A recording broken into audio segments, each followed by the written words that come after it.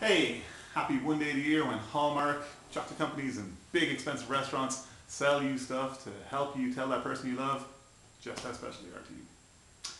I don't know, maybe it's the romantic in me or possibly the cynic, but uh, I like to tell my wife that every day.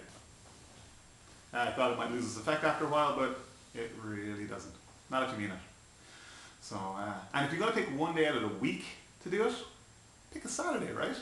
And you can stay up late, and you can stay in bed and the next morning, and it's all good. There's nothing better than just waking up and warm and cozy, and you know, it's great. I mean, if you work on a Sunday, right, pick a day that works for you, but you got the idea. And if you're going to pick one day out of the whole year to do it, just, just don't. Just, no. No. No. No.